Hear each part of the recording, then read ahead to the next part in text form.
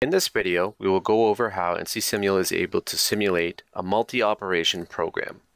Here, as the simulation begins, NCSIMUL is removing material. Here I will start by increasing the speed of the simulation and we can see NCSIMUL is able to do a tool change and also a tool break detection during the simulation. After the first operation is complete, we can see all the colored surfaces and the removed material here. Now, NCSIMUL is temporarily paused on the M30. Once I press play, NCSIMUL continues by flipping the part, machining the backside of the piece.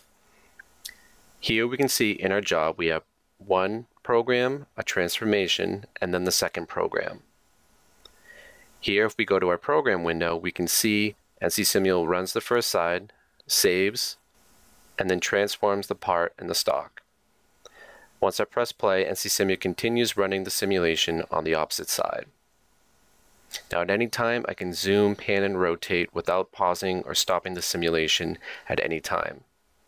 Here we can see NCSIMUL has no problems running through both jobs very quickly and efficiently. Here when we get towards the end of the program, NCSIMUL allows us to do many things after the simulation for analysis. After the simulation is complete, I can double click on any surface and NCSIMUL will call up the tool to cut that profile.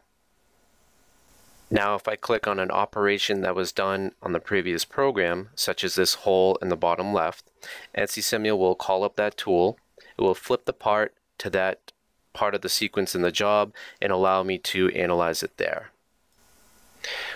During the simulation, we can also see the tool change macro as shown here. If we want to make sure that we aren't going to have any collision objects with our tool change, we can slow it down and check for it, just like we just displayed here.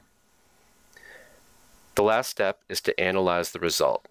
Here I'm going to do just a comparison to show if we've successfully cut the part that we're looking for. Here, green means good, and if we look around the model, we're looking for any gouging of the material. Here, we see a little bit of gouging in the corner, and I want to investigate.